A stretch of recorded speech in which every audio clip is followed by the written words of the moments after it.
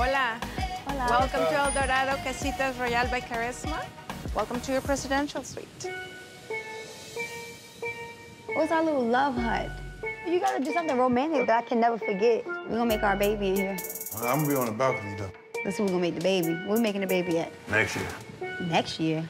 You got a career, man. What's Shut up, talking some career. I'm excited about having a baby. Yeah, two more.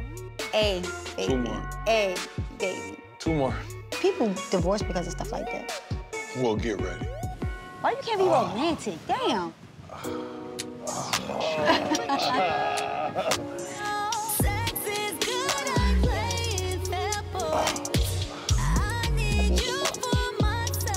Stop making me freak out. What? Like, I really think my husband is a nympho. And he's like, how am I a nympho? I just want to have sex with my wife. It's just, just normal. But, like, I could pass gas and he's like, ooh, that's sexy. Okay, now don't get curry. I knew you gonna get mad.